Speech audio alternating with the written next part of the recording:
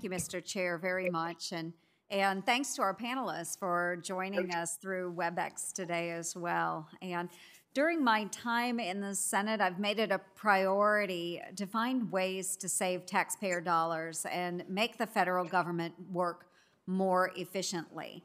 And I'm glad that we're taking this opportunity to examine the topic here today. I've long been a proponent of moving more federal jobs outside of Washington, D.C.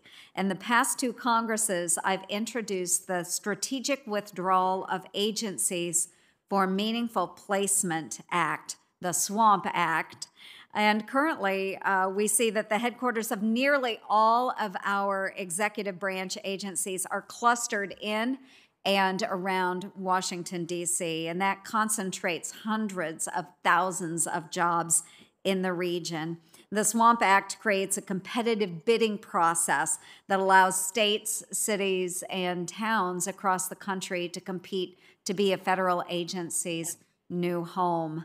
During the COVID 19 pandemic, many of our federal workers have successfully done their jobs from outside of DC showing us that they don't necessarily need to be in Washington to do their jobs. And I think this bolsters my argument that we can and should move more jobs out of Washington and closer to the folks who know the needs of their states, their farms, and their businesses best.